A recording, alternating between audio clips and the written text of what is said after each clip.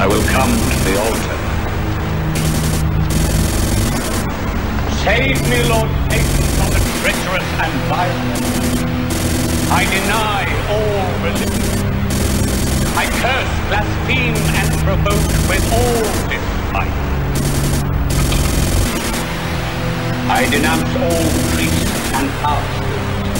I recognize only one great one.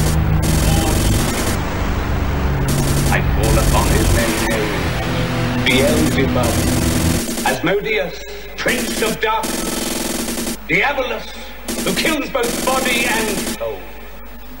And I embrace Galileo, Lord of the Fire.